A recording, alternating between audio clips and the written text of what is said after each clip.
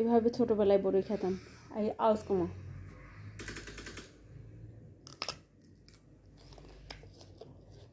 একটু লবণ মাখায় নিতে হবে। বড়িগুলো খুব টক মিষ্টি। খুব সুন্দর।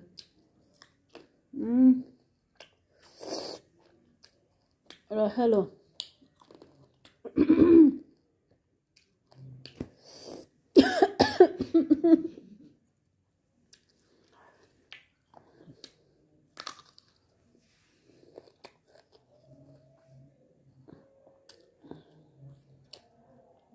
খুব মজা